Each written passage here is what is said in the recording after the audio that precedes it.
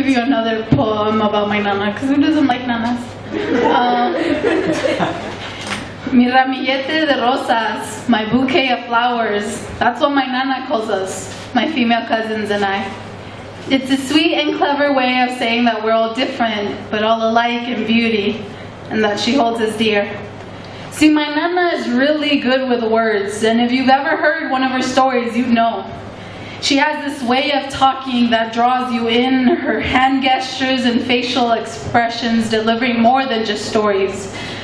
They deliver truth, memories of her sweet and humble childhood que me recuerdan a la lluvia, stories that pit pat slowly and softly and peacefully.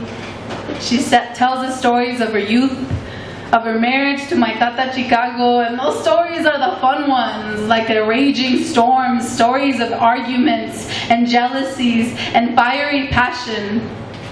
She tells the stories of today, and those are the sadder ones.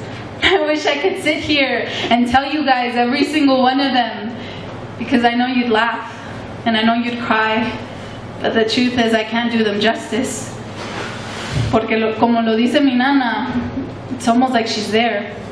She sits next to the kitchen table, looking through the door, but she's seeing something more.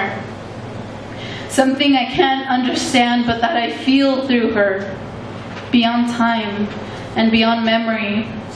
It's something indescribable, something beautiful, something strong. Like my nana.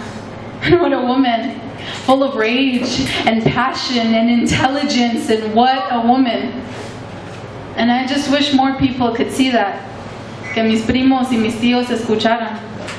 I wish more people could stop and sit and listen. Because if they listened, if they just listened, they'd be surprised.